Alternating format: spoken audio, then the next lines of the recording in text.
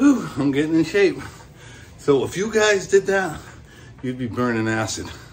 Your arms would feel like they're gonna fall off and your lungs would be like toast. Uh, but because I've been doing it for literally my whole life, it's fine. All right, someone's calling me, ciao.